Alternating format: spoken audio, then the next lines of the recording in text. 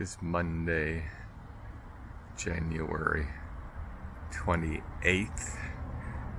I'm at the Islamic Center Mosque shooting videos showing the beautiful construction and the stage that it's in.